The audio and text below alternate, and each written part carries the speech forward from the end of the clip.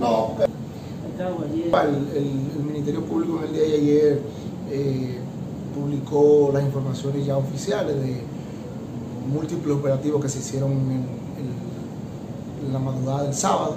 El Ministerio Público en conjunto con la Dirección Nacional de Control de Drogas, eh, en ocasión de unos operativos dirigidos por la magistrada Miriam, el Ministerio Público, Dirección de Persecución, y el general Cabrera de la Dirección Nacional de Control de Drogas, donde se impactaron múltiples sectores de Santiago para perseguir el microtráfico y las actividades ilícitas. Es un operativo que lo vamos a estar haciendo de manera recurrente para tratar de que la tranquilidad eh, y la paz se mantenga en las calles y en la ciudad de Santiago. Se, se detuvieron varios, como decía el operativo, unos 15, eh, entre ellos eh, estamos sometiendo a medida de coerción seis personas y una persona de ellas está siendo enviada a la jurisdicción de Montecristi donde tiene orden de arresto pendiente.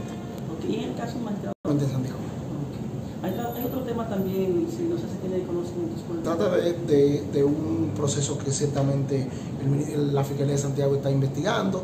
Eh, es un tema, eh, como ustedes comprenderán, que envuelve familias eh, y el, por la eh, la sensibilidad del tema, el Ministerio Público lo, lo, está investigando desde el Departamento de Homicidio y ya en las próximas horas estaremos dando detalles más puntuales y eh, en esta etapa estamos en la etapa investigativa todavía.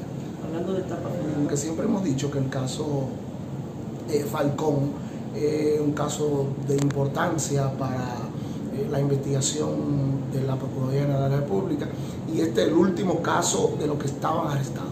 Sin embargo, continuamos detrás de otros que están, que están en, eh, prófugos y ampliando la investigación por si acaso puede haber otra persona vinculada. Muchas gracias.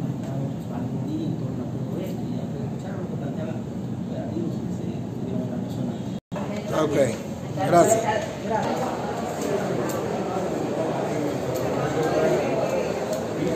gracias.